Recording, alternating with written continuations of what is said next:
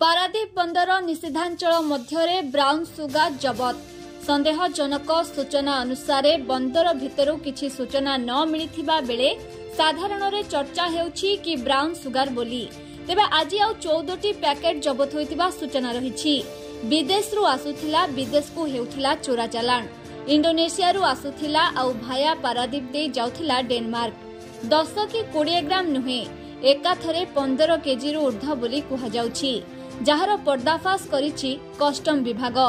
ଗତକାଲି ବିଳମ୍ବିତ ରାତ୍ରିରେ ଇଣ୍ଡୋନେସିଆରୁ ପଣ୍ୟ ଆଣି ଆସିଥିବା ଜାହାଜ ଏମ୍ଭି ଦେବୀ ପଣ୍ୟ ଆଣି ପାରାଦୀପର ପିଆଇସିଟି ଟର୍ମିନାଲରେ ଆଙ୍କରିଂ କରୁଥିବା ବେଳେ ପ୍ରଥମେ ପାଞ୍ଚ କେଜିର ବ୍ରାଉନ୍ ସୁଗାର ପେଟିଟି ସେହି ଜାହାଜରୁ କଢ଼ାଯାଇ ଡେନମାର୍କ ଯିବାକୁ ଥିବା ଜାହାଜରେ ଲୋଡିଂ କରିବାକୁ କରାଯାଉଥିଲା ବ୍ୟବସ୍ଥା ଯାହାକୁ ମାଡ଼ି ବସିଲା କଷ୍ଟମ ବିଭାଗ।